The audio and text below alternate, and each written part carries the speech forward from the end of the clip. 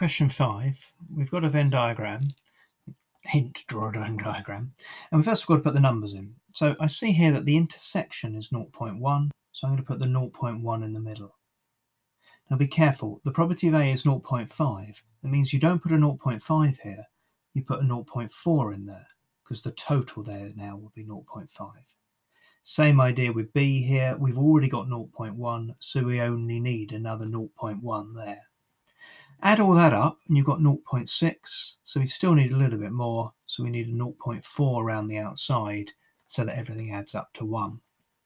And so now we can answer the questions.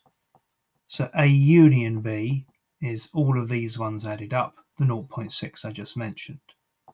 The probability of not being in B everything that's not in that circle, but there's 0.2 in that circle, so there's 0.8 not in that circle. So what does this one mean? It has to be in A, but it won't be in B. So it's just this bit here, the 0.4 there.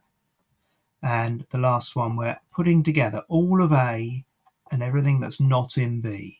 So I want all of A, that's all of that, and everything that's not in B. So that's that one there as well.